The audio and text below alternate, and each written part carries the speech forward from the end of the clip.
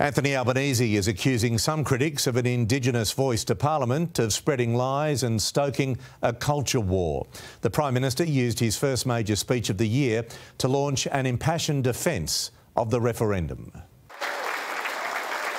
On stage in front of the Labor faithful, hoping to convert a nation to vote for the voice. For most Australians, it won't have any direct impact on their lives.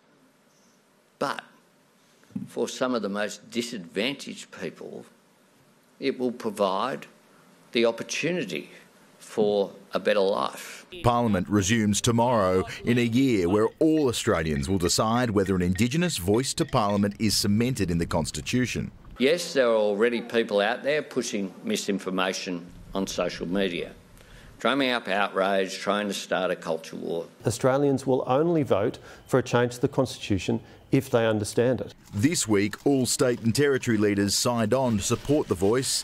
The Nationals say no. The Liberal Party has further questions. Who's going to be on the body?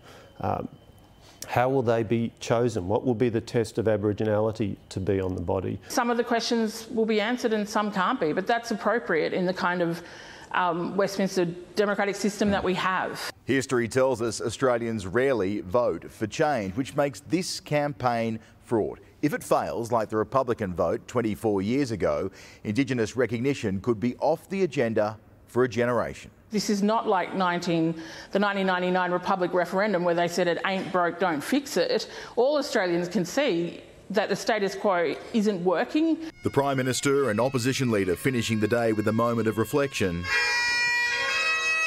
and acknowledgement there are consequences of the decisions that lie ahead.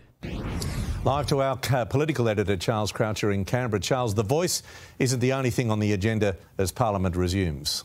Evening, Pete. We heard from the Treasurer today as well, Jim Chalmers, saying this will be a defining decade for the nation. But for many Australians, this year will define their decade. Inflation remains the greatest challenge as cost of living is going up and it's being felt in lounge rooms and in kitchens across Sydney. The Treasurer says he'll push for more work entitlements and wage security. There'll be a focus on housing, gas and electricity price changes and regulation of the cryptocurrency market. The budget in May will be crucial. It is a huge challenge, though, because without getting this part right, Pete, the long term plans will fade out of reach. All right, Charles, thank you.